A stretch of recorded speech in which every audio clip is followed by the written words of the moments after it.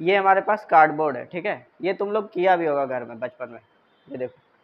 हम एक काम करते हैं, इसके ऊपर, इस गिलास के ऊपर एक कार्डबोर्ड रख दिए, ठीक है? इसके अंदर पानी है, अब इसको हम उल्टा कर देते हैं। ये देखो। देखना, थोड़ा बहुत इधर उधर हिलेगा पंखा की वजह से तो गिर जाएगा। ये देखो, दिखाई दिया?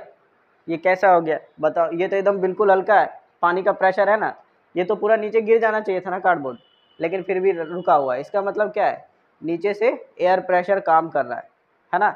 एयर प्रेशर प्रेशर जो होता है, जो एटमॉस्फेरिक प्रेशर है, वो हर डायरेक्शन में काम करता है। यहाँ से ये बात भी क्लियर होना चाहिए। ऊपर से भी लग रहा है, नीचे से भी लग रहा है, इधर से भी लग रहा है, इधर से भी लग रहा है है ना? तो नीचे से एयर प्रेशर काम कर रहा है, जो कि इस प्रेशर को, इस पानी के प्रेशर को बैलेंस किए हुए, है ना? थोड़ा सा भी इधर उधर गड़बड़ हुआ मतलब इधर का प्रेशर अगर ज़्यादा गया, अगर ये प्लास्टिक का बोतल होता और हमको यहाँ पे हम एक छेद कर देते तो क्या होता, हवा का प्रेशर अब इधर से भी जाता, इस छेद से जाता अंदर तो ये कार्डबोर्ड अपने आप नीचे गिर जाता। अभी प्रेशर क्या है? बैलेंस है। जितना प्रेशर इसमें है, उतना प्रेशर नीचे से लग रहा है। इसीलिए कार्डबोर्ड इसमें चिपका हुआ है, जबकि बहुत हल्का है ये।